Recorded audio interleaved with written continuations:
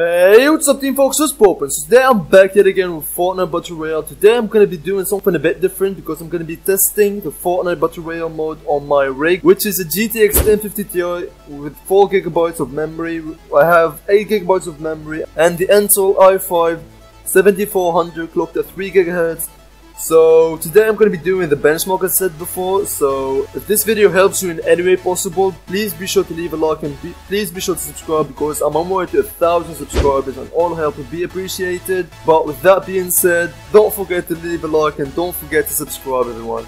See you.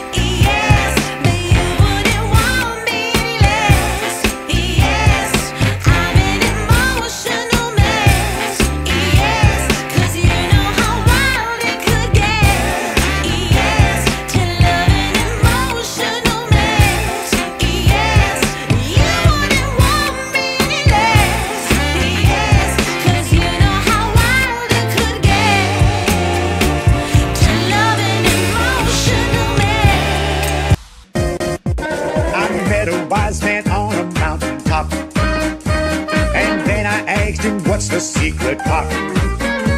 The people down below, we all wanna know how to play the game of life before we got to go.